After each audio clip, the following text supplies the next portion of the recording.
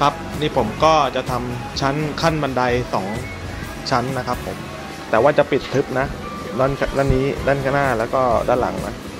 จะใช้ปืนลูกค่อมนะ ยิงล็อกตรงนี้ไว้นะครับผมตอนนี้เราก็จะทำเป็นเฟรมสองเฟรมก่อนนะเดี๋ยวเราค่อยมาเชื่อมติดกันนะครับ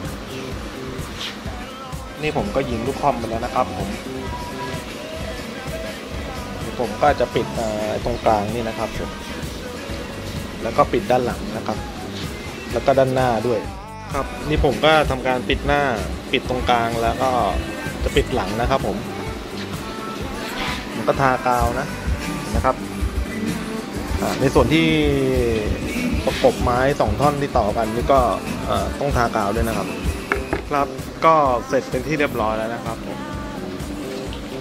ชั้นอ่าวางของนะ วางพวกอ่าข วดกาแฟหรืออื่นๆก็ได้นะครับผม